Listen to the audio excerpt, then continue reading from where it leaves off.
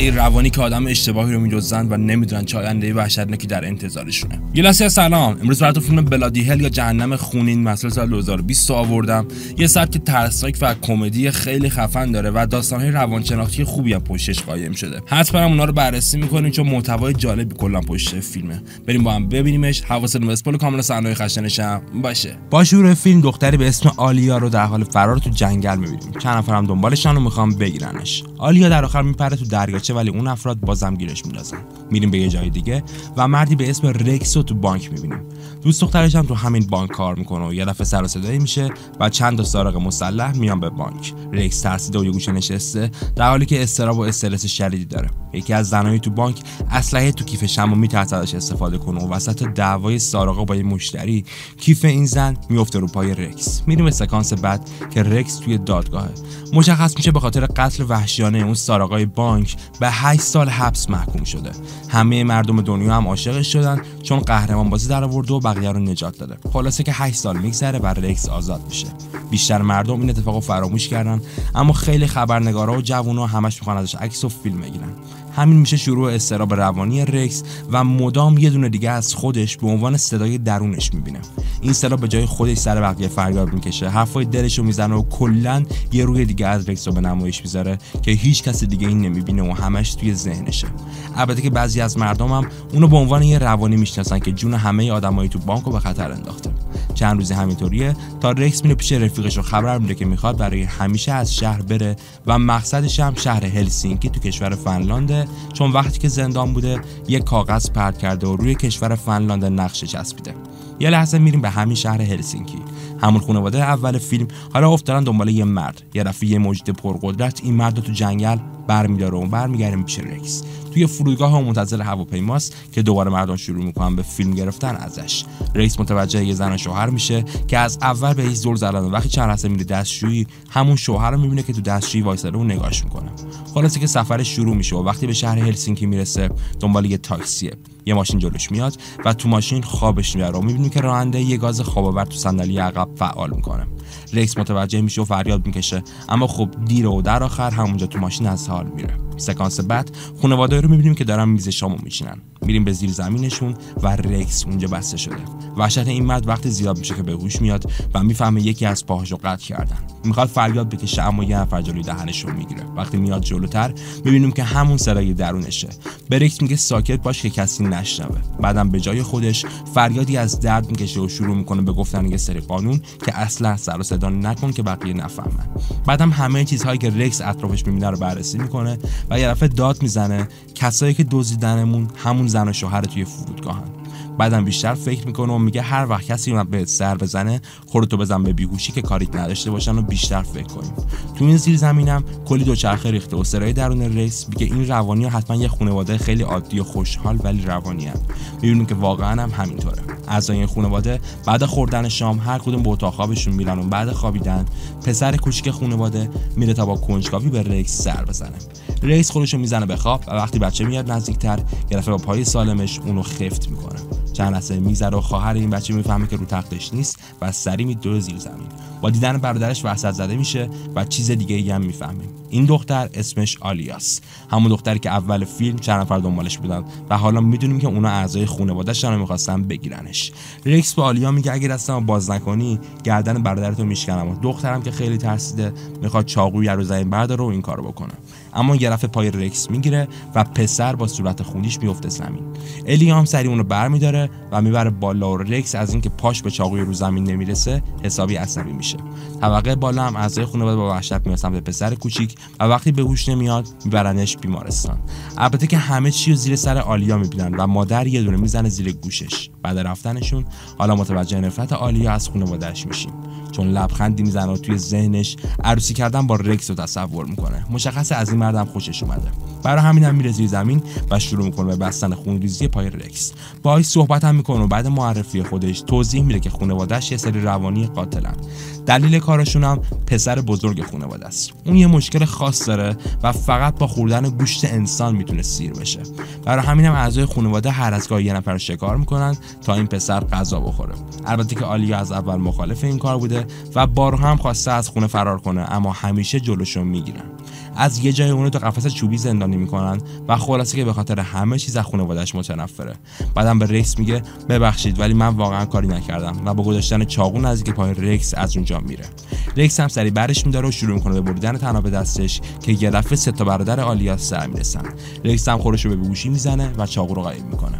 همین هم باعث میشه برادرها که به قصد گرفتن انتقام پسر کوچیک اومدن کاری از دستشون بر نیاد. البته اینا در حالیه که صدایی درون رکس با عصبانیت می‌خواد انتقام بگیره و همش سر این سه نفر فریاد می‌کشه. اما رکس کنترل خودشو از دست نمیده. حتی وقتی یکیشون چند تا چک تو گوشش می‌زنه و بالاخره می‌خوان برن بالا که متوجه باند پیچی پای رکس میشن. عصبانیتشون بیشتر میشه و میرن که خواهر رو تنبیه کنن. اما خب تخت آلیا خالیه و می‌بینیم که دختر توی زیر زمین قایم شده بوده. به رکس میگه مراقب خودت باش و می‌خواد سریع در بره. اما برادرا سر می‌رسن و اونو به زور میبرنش. یکی از برادرها هم سرنگی پر از آرام بخش به رکس می‌زنه و اونم از حال میره. دوباره 8 سال قبل رو می‌بینیم. همون لحظه سرقت بانک. رکس بعد افتادن اسلحه روی پاش یه دفعه کنترل همه چیزو به همون صدای درونش میسپره. شروع می‌کنه به قتل سارقا و وحشیگری تمام حتی اونایی که تسلیم میشن. سارق آخر دوست دختر خودش گروگان گرفته و وقتی می‌فهمه این مرد خیلی وحشیه و به هیچی اهمیت نمیده دختر ول می‌کنه و تسلیم میشه.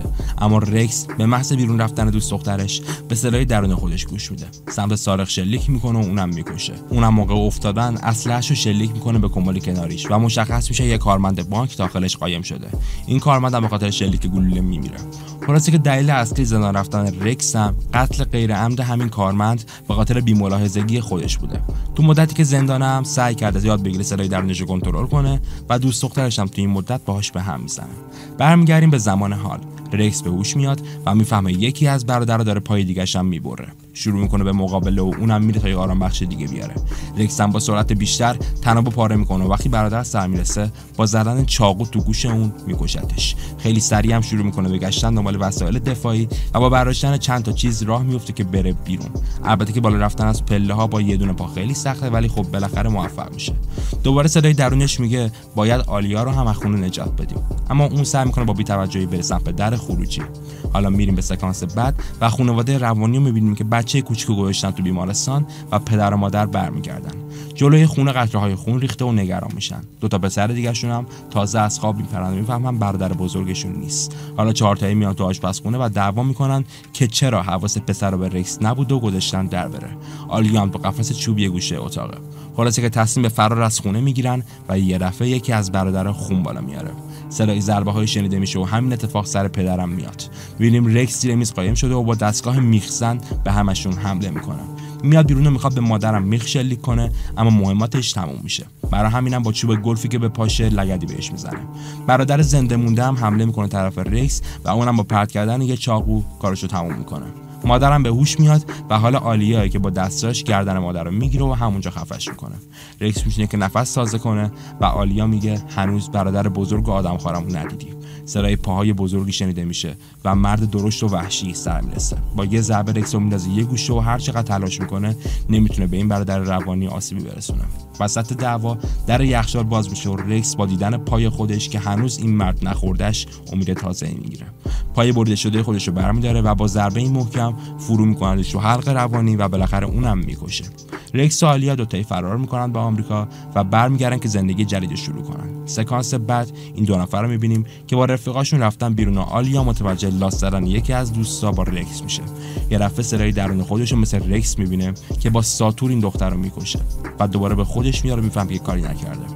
مشخص هر دوشون همچین رابطه ای با سرای درونشون دارن. و خب کلا به هم دیگه میان سکانس آخر فیلمم برادر کوچیک آلیا رو می‌بینیم که یه عکس خانواده‌شون دستشه و میگه بالاخره انتقامتون رو می‌گیرم. و اینجاست که فیلم به پایان می‌رسه. بلادیل کلا داستان باحالی داره. استوریش خفنه کلا صحنه‌هاش باحاله. صحنه‌های گور زیاد داره صحنه‌های ترسناک زیاد داره و در عین حال یه کمدی دارک فوق العاده باحال هم داره توش نشون میده. این فیلم میاد صدای درون آدما رو به شکل خیلی جالبی به نمایش می‌ذاره. صدای درونی که ممکنه خیلی وحشی خیلی دارک خیلی ترسناک باشه.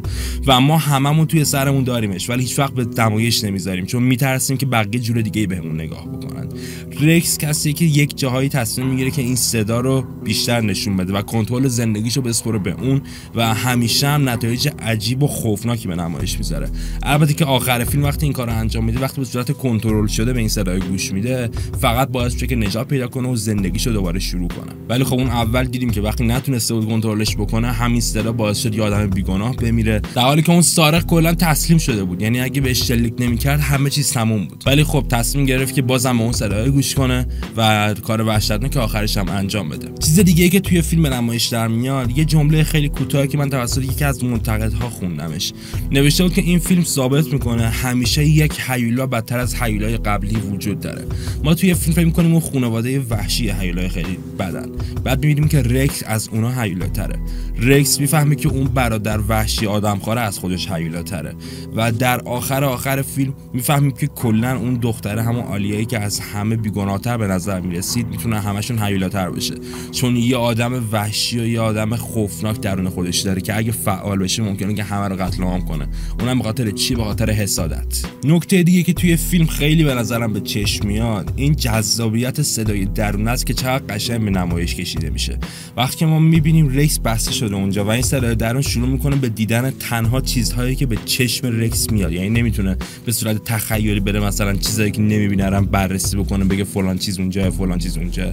فقط می‌تونه در مورد چیزهایی نظر بده که رکس داره به چشم میبیندشون یعنی وقتی می‌خواست اون دوچرخه ها ببینه اول رکس خور چرخید و بعد اون صدای درون رفت سمت دوچرخه و خلاصه همین باعث سردرگمی رکس شده. به خاطر اینکه یه جاهایی صدا درون داره کمکش می‌کنه. یه جا داره میگه که آره اگه الان ساکت باشی خیلی خوبه و واقعا هم اتفاق میفته هر سری از جاها یه حرفی می‌زنه و یه جایی هم مثل همون بانک بهش گفته بود که اون سارق آخرم بکش و اینکه کشته بود زندگیش نابود شده بود. آدم به یه سردرگمی می‌رسه تو این مرحله که میگه این صدای درون من خوبه یا بده و همین چیزی که رکس هم می‌بینه. رکس نمی‌دونه اون لحظه آخر وقتی که صدا بهش میگه بمون و آلیا رو نجات بده نمی‌دونه که این بار قرار این صدا به نفعش باشه یا به ضررش و برای همینم دو دل میشه کلا. اما یه درس خیلی قشنگ میاد فیلم ما میده. میگه که ببین نباید زندگی و نباید اینجور قضیه ها رو به صورت سیاه سفید ببینی. یعنی بگی یه چیزی خوبه یه چیزی بده. مثلا این صدای خوبه اون صدای بده. دوست دختر من بده دوست دختر من خوبه. رفیقم خوبه رفیقم بده. اصلا تو نباید سیاه سفید این چیزها رو نگاه بکنی. هر چیزی توی دنیا یه سری مزیت داره یه سری ضرر. این سر در هم دقیقا همینه. یه جاهایی داره به نفع رکس کار می‌کنه. یه جاهایی هم به ضررشه. تو اصلا نمی‌تونی کلا بگی خوبه یا بده. باید بهش گوش بکنی آنالیز بکنیش. اگه دیدی به نفع تو موقع انجامش بدی. اگه بخوای کورکورانه بهش اعتماد بکنی سفید سفید ببینیش. یعنی هرچی میگه درسته. ازش کلی آسیب می‌خوری. اگه بخوای سیاه نگاش بکنی بگی همه حرفاش اشتباهه. خب مشخص اگه رکس بهش گوش نمی‌داد اگه اونجا خودش رو به بیهوشی نمی‌زد یا اگه بر نمیگشت آلیا رو نجات بده شاید زندگی یه دختر دیگه نابود میشه خودش میمرد و هزار تا اتفاق بدتر دیگه میافتاد. و همین که تونست آنالیز بکنه و تصمیم درست بگیره خیلی مهم بود و همین باعث شد که آخر نجات پیدا کنه. و همینم هم میگم به نظر من بزرگترین درسیه که این فیلم میاد با آدم میده اونم توی سکانس های دارک و وحشیانه ای که آدم کرکوپرش میریزه. میاد نشون میده که سیاه سفید دیدن همه چیز اشتباهه از طرفی هم یه سری درگیری های روانی و خیلی قشنگ به نمایش می‌ذاره. اینکه چقدر آدما با صدای درون خودشون همش توی کشمکش و دعوان و همیشه دارن یا سرکوبش می‌کنن یا با گوش دارن بهش دنیا رو به فنا میدن. حالا شما تصور کن یه لحظه تو ذهن خودت که چقدر از کارهای زندگی تو به خاطر اون سر درونه انجام دادیش. و چند تا از اون کارها رو اگه به سر درونت گوش می‌دادی شاید خیلی بهتر پیش می‌رفته. برای همین اصلا میگم این فیلم محتوای خیلی خیلی جالبی پشتش داره. و میاد این سر درونه رو خیلی برای ما بولش می‌کنه. یعنی قشنگ باعث میشه که خیلی جدی بهش نگاه بکنیم. خیلی وقتا میگم تو زندگیمون هست ما هم شاید ببینیمش. اما هیچ وقت بهش گوش نمیدیم. به خاطر اینکه فکر می‌کنیم خب اگه گوش بریم میگن روانی یا همیشه بهش گوش میدیم و خیلی چیزها رو ریسک می‌کنیم و همش داریم آسیب می‌بینیم. منم خیلی جا همیشه رای درونم بهم چیزهای اشتباهی گفته بود کارهای اشتباهی رو انجام بدم. و الان که خیلی ازش میگذره تازه بهش نگاه می‌کنم میگم که خوشحالم بهش گوش ندادم. ولی قبلا خیلی اصلش رو میخوردم. از طرفی هم خب خیلی جاها هم برعکسش بوده. و مهمتر از همه هم تو همون لحظه های حیاتی و لحظه هایی هست که انتخاب بین مرگ و زندگی. شاید تو خیابون با یکی دعوات بشه توی سرت به که همین الان چاقو رو از جلو زمین بردارم بذارم تو شکمش همه چیز تموم شه. و اگه گوش بدی زندگی خودت یه نفر دیگه رو به فنا میدی. میگم که خیلی مهمه این. اصلا یکی از مقوله های مهم دنیا و خب هیچ جا نیده به نمایش گذاشته بشه اینطوری. خیلی وقتا نمایی روانی نشون داده میشن که همشون مشکل شیزوفرنی دارن با یکی حرف می‌زنن تو خودشون و کلا آدم های روانی مشکل دارن. اما این فیلم میاد میگه که همه ما داریمش. فقط مهمه که چجوری ازش استفاده بکنیم. و میگم اینو حتما بهش توجه بکنید. به نظر من خیلی چیز مهمیه. دیگه همین توی کانال زاپاس جوین بشید. لایک کامنت ساب یادتون نره. دوستتون دارم. دوستتونم گلسی.